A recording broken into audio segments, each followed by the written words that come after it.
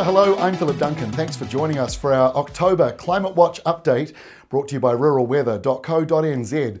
Let's take a look at what is going on at the moment because we are still in a kind of typical spring and there's all this chatter about La Nina. It's been going on now all year.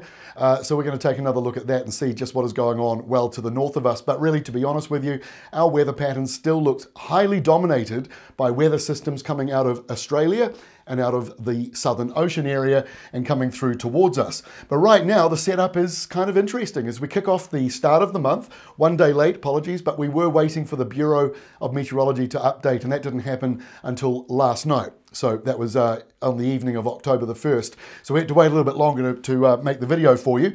High pressure is out to the east here. Now that's encouraging a milder airflow. There's some low pressure in the middle and then the next high. The colour shading you see on here shows much of Australia quite warm at the moment, except for the colder southerly change down here in the southern part of Western Australia. But for the New Zealand area, it's a mixture of two things. You've got a bit of subtropical air coming in and a southerly too. And that kind of highlights the spring that New Zealand is in. It is a chaotic, messy one this year, and it feels, to me anyway, a lot more traditional. So let's take a look at what the Bureau of Meteorology is saying about La Nina. The media have been talking about this, government forecasters have been talking about this in New Zealand all year long. And we're now in the 10th month, and guess what? It's still not here. So I'm not quite sure why they're so obsessed with it because it's not dominating our weather and it really has very little to do with what is going on in our part of the world at the moment. But we do need to focus on it because it is obviously being talked about. So this month I've done something differently. I wanted to show you what we said last month or at least what the Bureau of Meteorology said last month, these maps or these graphs show the model of all models. So you take all of those global computer models from each different country and then they try and put them into one graph to take a clean look at. And what you see last month was, just to make it clear for you, the top part here is El Nino, the middle part is neutral, that's what we're in at the moment, and then the lower part means that you're into La Nina conditions. So when we updated you a month ago at the start of September, the general thinking was that this was definitely going into La Nina, or at least very close to it, borderline, and then gradually coming back out again as we go into the start of next year. Look at the new update, four weeks later, the one that we just waited for last night. And all of those tracking uh, lines have gone up a notch. In other words, keeping it further into the neutral area and even more so going back into El Nino for next year, although it is still in the neutral zone. So that's kind of interesting considering there's a lot of stories about La Nina forming. So why is that? Well, each government does it differently. And in America, NOAA, uh, they are basically like the NIWA of New Zealand. Uh, they are the ones that are really kind of pushing, or not pushing, but their, their data seems strongest towards that La Nina narrative. And that's one of the reasons why you're hearing so much chatter about it. But to be honest with you, if we're still in a La Nina watch, we've got another two categories to go before we are officially into it. And here's another thing even if we do get down somewhere in the next couple of months into it, how long does it last? The Bureau of Meteorology says how long it sustains at that is also a critical part before you announce it because you don't announce La Nina to last a week or two. It lasts a few months. And so I don't know if we're even going to see it announced this year. If it does, it's going to be in our spring because by the time we're in summer, model of all models here from the Bureau of Meteorology says we are very much so in neutral. These uh, graphs show the Indian Ocean dipole. That is like the Indian Ocean's version of La Nina and El Nino, and it's also remarkably the same, pretty much into that neutral zone. So that means the chaotic neutral weather pattern we've got is still around with us. And that does make sense. Some people find it confusing to say, how is neutral chaotic? Neutral is just think of it as a car and you're training your kids to drive and they're sort of between first and reverse trying to work it out. That's basically what a neutral season is. It means our weather patterns are messy. We can get a warm northerly one day, a wintry southerly the next, and it's just all over the place.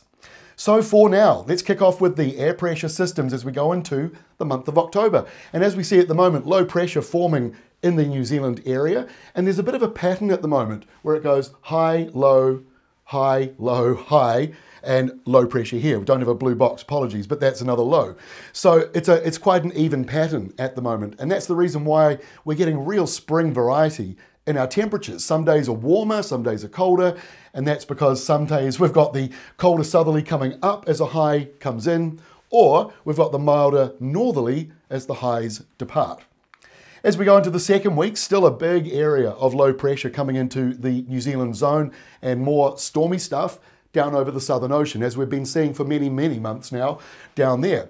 But what is critical for many people who are, are asking about whether La Nina is going to affect us, these red boxes up here, that's higher pressure coming along to the north. While they are in place here, we are not going to notice what is happening in the tropics because these are kind of like an invisible brick wall in the sky and it stops low pressure zones up here, which is where they are forming in a La Nina summer. But actually, even in uh, this time of the year, we're going into the wet season. So it's normal to be seeing low pressure forming up here anyway. But with La Nina, it should be warmer than usual on a sea surface level. But until these highs break off, we're not seeing a lot of life coming down out of the tropics.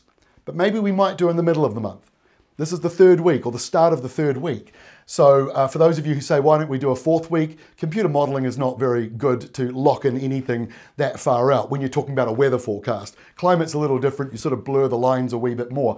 But what you're seeing here is low pressure forming uh, around Australia and dropping southwards. You're seeing low pressure, not so much the part over New Zealand, but this one here, uh, near Tonga and uh, south of Samoa. This is the one that is dropping southwards. And again, another one out here, more towards French Polynesia.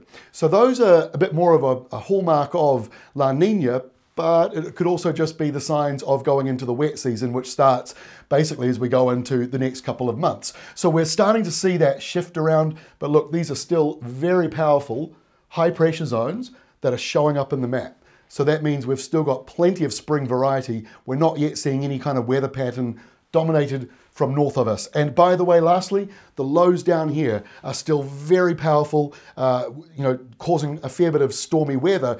But the air pressure is starting to lift up a wee bit after them being down in the 920s, 30s, 40s as far as air pressure is concerned. That changes and they're starting to lift up a wee bit more. And that just reduces the amount of windy westerlies that are blowing up in the New Zealand area, at least sort of generically speaking. So let's get into rainfall now, kicking off with the next seven days departure from normal. This just means how much wetter or drier is it compared to usual for the start of October. What you're noticing in the New Zealand area, the blues, the whites, it's a lot of uh, sign of rain and normal rain for this time of the year. Although if you're in the west coast and Southland and Otago, those areas are definitely wetter than usual at the moment, and so you're probably not too happy about seeing a lot more coming in. North Canterbury and Hawke's Bay, some parts of Wairarapa, Upper, you could do with a bit more rain, and you may not get as much as you want from the wet weather that's coming in over the next week or so.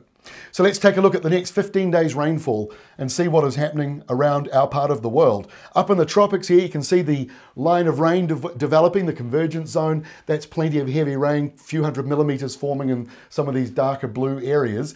And that is normal because, as I say, we're going into the wet season.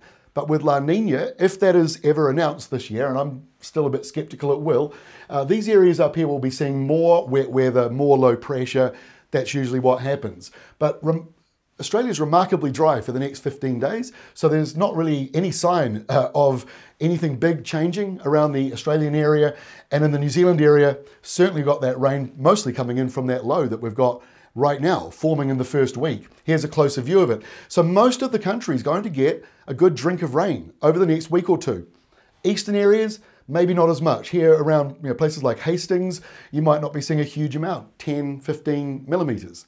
Now, of course, that low pressure zone that's with us at the moment, it only takes a slight shift in the airflow, suddenly rain could drive in there. But for now, I think many, many parts of the country are going to get a good amount of rain. And with the extra warmth we've got, because it's warmer than average, and we're expecting that to be uh, going on through the month of October, warmer than usual, that's going to help with pasture growth and with plant life. You know, it's going to be seeing uh, plants growing quickly as a result of the warm and the rain.